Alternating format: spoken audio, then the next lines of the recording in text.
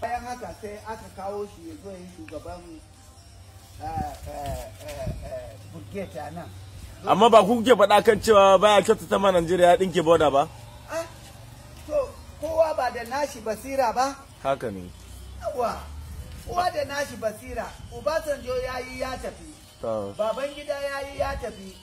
Eh, wane ne Umar ya yi ya tafi. Haka ne. to kaga kowa da irin nashi. Shi kuma ya ga haka ne wataƙila mafita. Shi ne ya yi.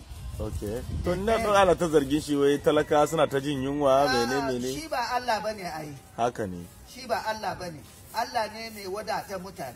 Haka ne. Annabi na cewa ah, abdullahi ka sani inna ummatan da wujtama'at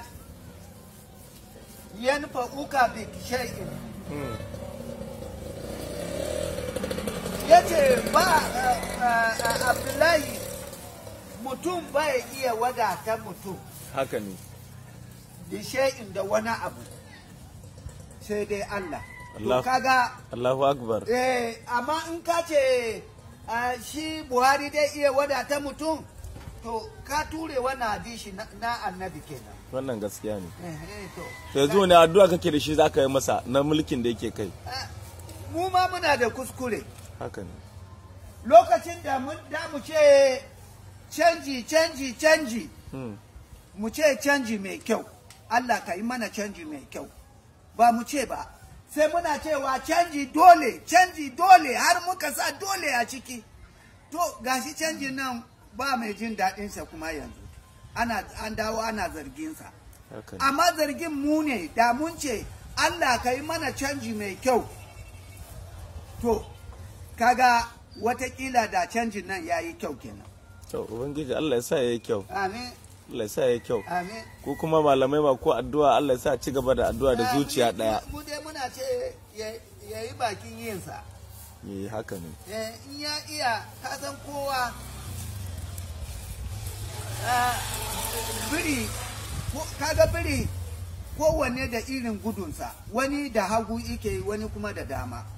To kaga mulki kowa da irin basiransa da dai tsara wataƙila nan ne dai shi dai samu mafita. To saboda haka mu ba za mu iya zargin shi ba. Mu dai mun ce Allah ya ba shi iko tunda ya ce gyara ne. To mu mu ga irin gyaran da dai yi. Watakila dai kawo gare mu. To yanzu masu zagin shi a gari su ce ba shi da kirki ba shi da kirki wani shawara zaka ba su? Su waɗanda masu faɗa dama shi ɗan adam bai gode maka sai baka ɗan adam ba zai gode maka ba zai san amfaninka ba sai baka ko mace ne ba za ta yaba ma mijinta ba sai ranar da ya mutu.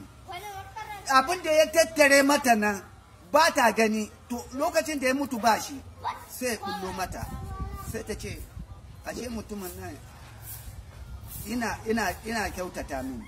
Amma lokacin kuma ba nan. To Allah ya sa mu dace. Amin. Mun gode.